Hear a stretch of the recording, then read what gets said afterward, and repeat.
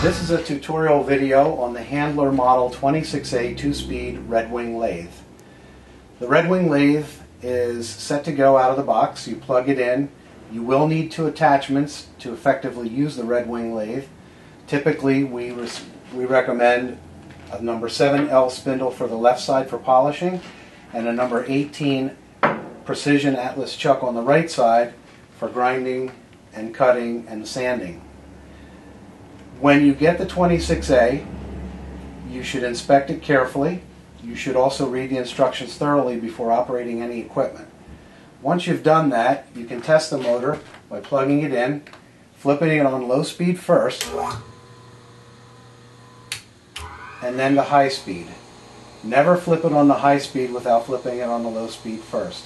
You can see the machine is operating perfectly and quietly as it should. To mount your attachments, simply shut the machine off and allow the motor to stop.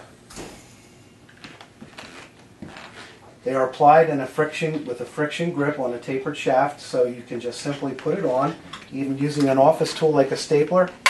Just tap it.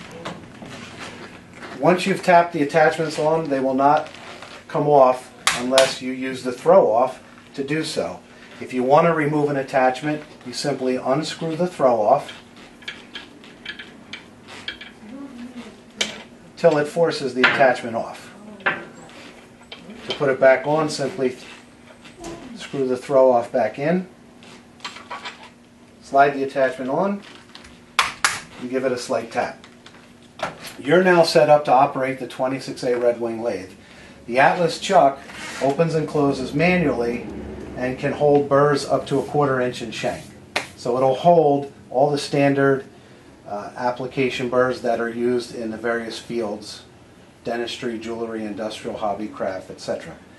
The 26A is a low base, uh, low base lathe. You should use it with a dust collector and a splash hood.